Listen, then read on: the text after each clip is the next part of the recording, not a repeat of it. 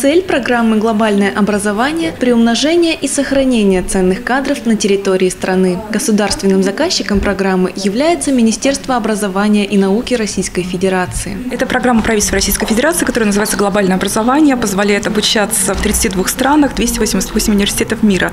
А здесь все достаточно просто. Студент сам поступает в зарубежный вуз. Когда идет письмо о зачислении, он обращается к нам в программу. Регистрация идет онлайн.